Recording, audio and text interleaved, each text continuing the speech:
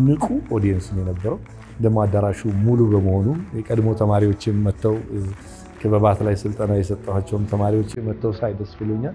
የምታስደስትህን ነገር ፈልጋት። boring ከሆነብህ የዕለት ተዕለት ጉዞ ፈልገው ፈልገው ታገኘዋለህ። ረፍዷል ብለህ ካሰብክ ረፍዷል ብለሽ ካሰብሽ ምንም ቤተሰብ አታስቸግር አታስቸግሪ። ወደ አንድ ይሄ ማቆያ ቦታ የለም አረጋውያን፣ እዛ ሂድ። የሚገርማችሁ ችግር በገጠመኝና እንደዚህ ብዬ ባዘንኩ ሰዓት በማግስቱ ግን energy ይጨምራል።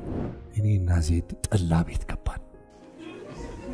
ካስደሰተን ነገር አንዱ ገበያ መሃል ገጠር ውስጥ ያለ ጠላ ቤት ነፍሳችን ተደስታ ልትሞት። እኔ የተወለድኩት በ1900 አልናገርም ትንሽ ነገር ካስከፋው አሁን አስተካክሎ ከሆነ እንግዲህ ትንሽ እድሜው ሲጨምር ያው ይበልጠናል። 56 ሆኗል እና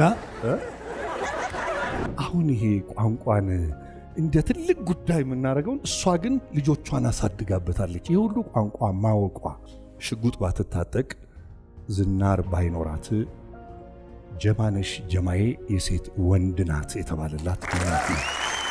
ምንም መድረክ በሌለበት የትራክተር ተሳቢዎች ተገጥሞ እዛ ላይ ሰርተናል። ቲያትር እዛ ድረስ ይሄድ ነበር። በ20 ሺህ ብር ተሸጠ። የስድስት ወር ያ ድራማ የትኛው ድራማ መሰላችሁ? በኋላ ርዕስ ተቀይሮ የተሰራው ሰው ለሰው። ሌላም ችግር በሬን ዘጋው። ጋሽ ጸጋዬ ጸጋዬ ገብረ መድኅን ወንድ ልጅ በሩን ዘግቶ ነው የሚያለቅስ ይላል። ከፋኝ በጣም ማለት ምን ማለት ነው ተብለው ተጠየቁ ሴትየዋ። ማለትማ ወንድ አለ ማለት ነው አሉ። ቆማችሁ በተገፋችሁበት ነገር ቆማችሁ እያሳበባችሁ አትማረሩ። ከፊት ለፊታችሁ ሌላ መንገድ አለ። እሱኛውን ሄዳችሁ ተጋፈጡ። የኔ የህይወት ፍልስፍናዬ አንዱ ሰው ማለት ለሌሎች መኖር ሲችል ነው።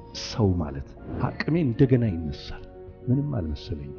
ምክንያቱም በህይወቴ ረፈደ የሚባል ነገር አላውቅም። ሙሉ ዝግጅቱ እሁድ ከቀኑ 9 ሰዓት ላይ በዳዊት ድሪምስ ዩቲዩብ ላይ ይለቀቃልና እንድትከታተሉ በአክብሮት እጠይቃለሁ።